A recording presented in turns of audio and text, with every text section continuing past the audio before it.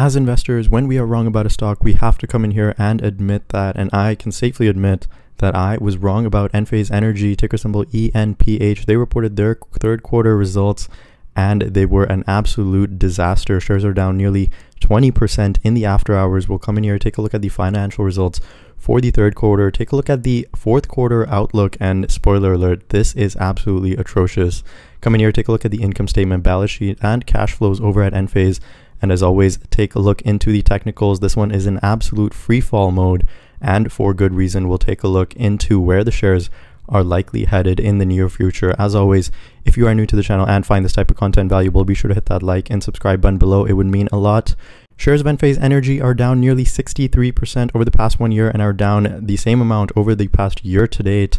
And that is still not holding shares any higher as they are down another nearly 20% in the after hours, now trading below $80 a share, close to $79 a share. And so tomorrow, this year to date decline will be closer likely to 70 75% and that is absolutely staggering. Now there is good reason for that and we'll come in here and take a look at the results. So revenues coming in at 550 million. Estimates over on wall street were a bit higher closer to 566 million. So that is red flag number one is that the revenues did miss by close to $15 million. Now, last quarter in Q2, Enphase did lower their Q3 expectations for revenue in the range of 550 to 600 million. And so, in terms of Enphase's own expectations, they came in near the very low end of that at just 555 million. And so, right there, that is a second red flag that Enphase coming in near the bottom end of their Q3 guidance at 550 million. Now, GAAP gross margins also coming at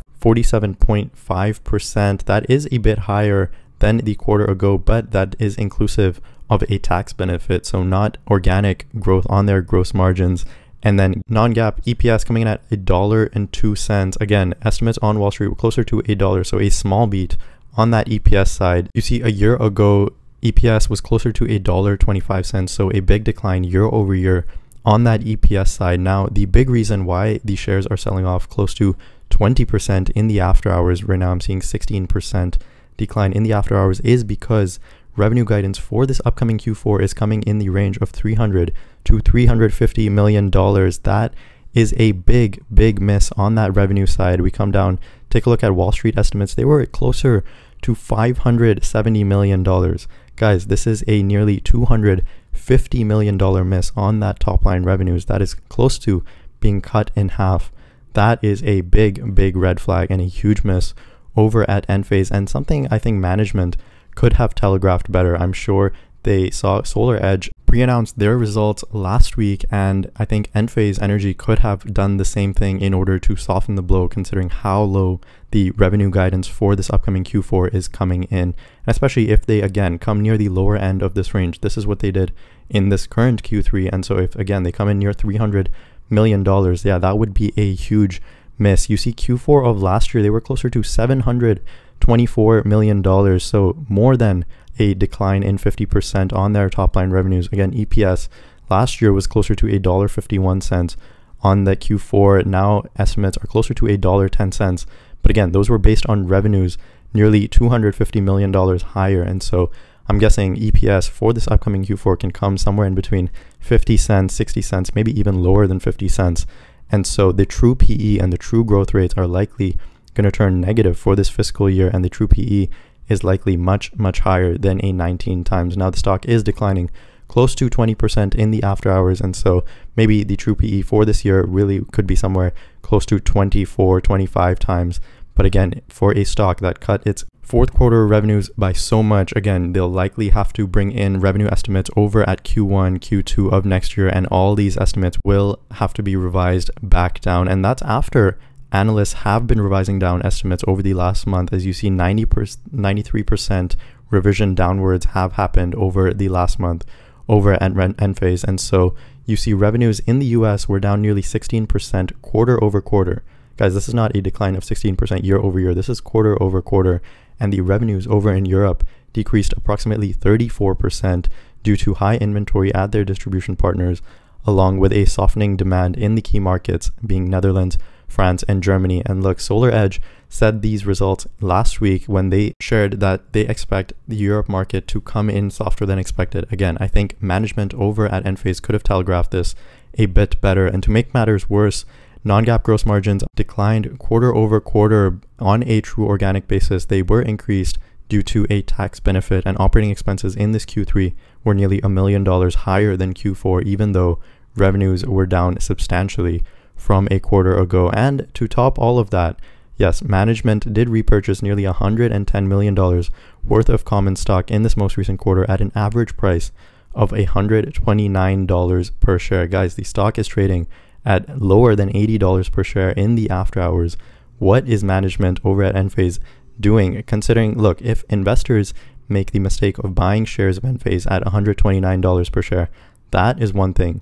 The fact that management could see revenues in this Q3 coming in the lower range of the guidance, considering management could see weakness in the European markets and could probably forecast that Q4 revenues will be substantially, substantially lower yeah, what is management over at Enphase doing? Buying back their stock at nearly $130 per share. I'm sure they have to have a better outlook on supply and demand, and I'm sure Enphase could have done a better, again, could have done a much better job at telegraphing this to investors. Now, revenue is coming in at 551 million quarter over quarter. You see that is a big decline. This is the Q2 in the middle column here. That is a big decline quarter over quarter and year over year again a big decline. Now the cost of revenues also came down subsequently in this most recent quarter at just 289 million dollars and so your gross profit actually didn't decline as bad as you would think considering revenues were down by roughly a hundred million dollars year over year the gross profits were only down by nearly five million dollars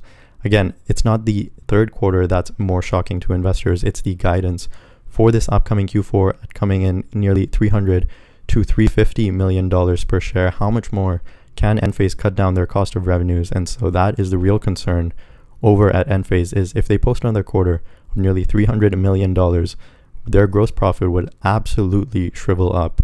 And that is what's scary over at Enphase. And considering the fact that we don't know how long this weakness in demand will really last, yeah, this could go on for a few quarters down the road, especially while interest rates remain high, even in Europe yeah, the demand for high purchase ticket items such as solar panels will likely remain weak in the near future. Now you see R&D ticked up by nearly $10 million year over year up to $54.8 million. They did do a decent job controlling costs on sales and marketing and G&A, but again, you likely don't have to do that much sales and marketing considering how much inventory you have to still push through over at Enphase. And so your total operating expenses rose by nearly $12 million year over year, and your income from operations coming in at $118 million. Same time last year, we were at $135 million. So your net income for this most recent quarter coming in at close to $114 billion. That was roughly flat year over year. And diluted EPS coming in at 80 cents. A year ago, we were also at 80 cents. So again, the bullish case over at Enphase was its valuation. Its valuation on paper looks very cheap at just 19 times but when you really come down to it, for a company that's declining revenues in the US by 16%, declining revenues in Europe by 34%, and is expected to decline revenues in the subsequent Q4 by a lot, and then is posting flat to negative growth on that EPS side, yeah, this stock shouldn't, in fact, deserve a high premium valuation at all. And so if the stock is trading at a true 25 times forward multiple, yeah, that is likely still a bit too high considering the growth rates over at Enphase have absolutely gone negative. Now, on their shares outstanding, this is coming down on a diluted basis. You see, last year we were at 145 million shares outstanding. Now we're at 143 on a basic shares outstanding. This is still going up, and we'll see why that is. Likely, the um, absurd amount of stock based compensation Enphase hands out is causing basic shares outstanding to still increase, considering they still are doing a ton of share buybacks. Now, the one bright spot over at Enphase still is their balance sheet. It's easy to say the balance sheet over at Enphase is still very, very strong. You see, they have cash and cash equivalents at nearly $290 million and then marketable securities at really $1.5 billion. And so overall, close to $1.7, $1.8 billion in cash and cash equivalents. You see, this is a market cap of nearly $12.8 billion in the after hours. It's likely near $10 billion. And so for a $10 billion company to have close to $1.7 billion in cash and cash equivalents. Still a significant amount of cash. You see total current assets at $2.6 billion. They have total liabilities at $2.5 billion. And so current assets over total liabilities, that's a good thing to see. They don't have a ton of short term debt, nearly $100 million worth of short term debt, and then close to $1.2 billion worth of long term debt. So again, the balance sheet over at Enphase still looking fairly strong. They do have cash over at the company to sustain an economic downturn of this magnitude for at least another few quarters. But again, if this continues throughout 2024 into the first half of 2025, yeah, this balance sheet will also take a hit. And so at that point, really everything will start to look ugly over at Enphase. Right now, the balance sheet is still still looking quite strong and holding this company up. Now, moving on to the statement of cash flows. We bring down that 113, close to 114 million dollars in net income. We add some depreciation, amortization, but the big thing that we really add is this line item of stock-based compensation. We add nearly 44 billion dollars worth of stock-based compensation, not in 9 months, not in 12 months, in 3 months. In this most recent quarter, Enphase paid out nearly 44 billion dollars worth of stock-based compensation. A year ago, they had paid out nearly 53 billion dollars in stock based compensation. And so for a stock that is down over 63%, now close to 70, 75% over the past one year, the fact that stock based compensation has really not come down by that amount is absolutely staggering. The amount of stock based compensation Enphase is really handing out is actually absurd. And if you really think about it, look, employees over at Enphase won't work for free. And so they're either going to be paid in cash or be paid in stock. And right now, a lot of them are being paid in stock. And considering the stock is in free fall, I'm sure a lot of them would rather be paid in cash.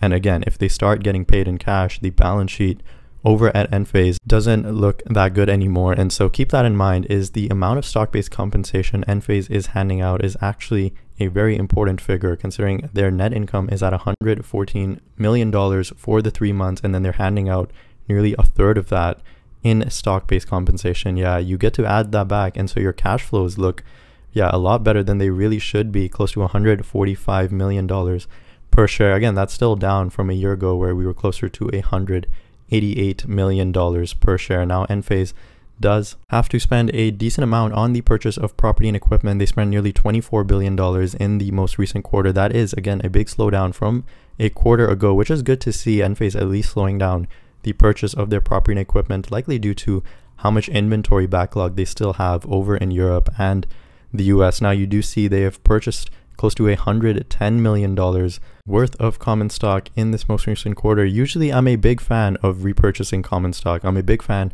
of share buybacks because that is you for you, the investor, you get a bigger portion of the earnings. But considering how poor their guidance is, considering management really should have known that this most recent quarter will come in ugly at $550 million of revenue and the subsequent Q4 will really come in ugly and the street will not like those results. Management really should have seen that coming. And so, even purchasing this much common stock at a much, much higher price, I don't know if that is the best use of their cash over at Enphase. All things considered, they did add close to $11.4 billion onto their cash pile in this most recent quarter. Moving on to the technicals for Enphase, and this is an absolutely ugly, ugly chart pattern you see posting a fake red candle here I've drawn in to represent where the shares are in the after hours, close to $79, down nearly 17.5%. This big gap downwards was a gap of close to 20%, nearly 15%. That was when SolarEdge reported their earnings, pre-announced their earnings last week. And so Enphase took a big dump on that and now taking nearly a 17% dive on their own results. You pull this chart back a year and this one has been an absolute downtrending channel and to no surprise, it has broken through that and likely will make another downtrending channel even lower down over here. And so, not surprisingly, investors are fleeing the stock after the horrible, horrible forward looking guidance. It seemed like Enphase was coming in here and making a bottoming pattern near this $115, $120 support level. But I think no one really expected future earnings and revenues to come in this light. No one really expected the revenues over in Europe to be this bad, considering when SolarEdge pre announced their results, that is really when the market took a turn for Enphase, considering the demand for solar panels and my, these microinverters are basically non existent at the current moment and likely will be for the next little while. Now, where I see Enphase stock coming down after these levels is really I see it coming near $59 per share. I think this is the natural next stop for Enphase shares. This is a support from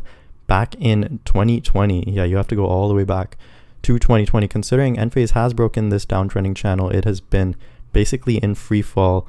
There's not a whole lot of price action holding it. I think it does have a level of support briefly at $77 per share, which is where it is in the after hours. But again, I think investors over the next few days will digest it. I think the algorithms will come in here and absolutely continue to sell shares of Enphase. I do think it is a very real possibility. It comes down to $58, $59 per share. At that point, again, Enphase's valuation could say is cheap, but it's really hard to predict the true valuation for a stock like this, considering they're slashing forward revenues by nearly 50%.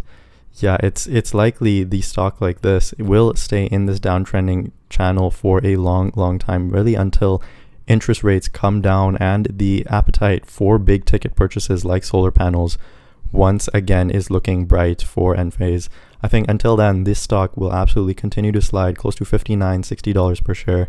We'll see revenue estimates and earnings estimates come in over the subsequent few weeks, and then this real price to earnings and price to sales multiples will all get updated, likely significantly higher, closer to 25, maybe even 30 times, in my opinion, for this upcoming fiscal 2023. And so, for that case, I think I can safely say I was wrong on Enphase when I did call possibly a bottom near $120 per share. But again, that's the reason why I mentioned in my previous videos, you go back and take a look at my previous videos of Enphase. While I was saying it might be a good entry point to come in here, you don't, you absolutely do not unload a full position into a stock like Enphase all at once at these levels, considering how volatile a name like this really is considering it can make big downward swings. Yeah, you don't come in here and you unload a full position. If you are bullish on Enphase at this point, based on their current valuation, maybe you nibble on one or two shares and then suddenly when the news turns ugly, when Enphase cuts their guidance, when Enphase's valuation suddenly changes and their fundamentals have truly changed at this point, yeah, that is when you cut your losses in your few shares and you exit the position in Enphase and you frankly take the loss if you had picked up shares of Enphase at this point. I think based on the true valuation, that is really unknown and the fundamentals over at Enphase have absolutely deteriorated. And for that reason, I think I can't come in here and pick up shares of Enphase, even though the valuation might look cheap on the surface. I think shares are no doubt headed to $60 per share and then possibly lower at $40 per share that was my take on Enphase Energy. Let me know what you guys' thoughts are on this stock in the comments below. Shares are creating nearly 17%, close to $80 a share. Stay tuned for more earnings on the channel. As always, thanks so much for listening, and I'll catch you guys in the next video.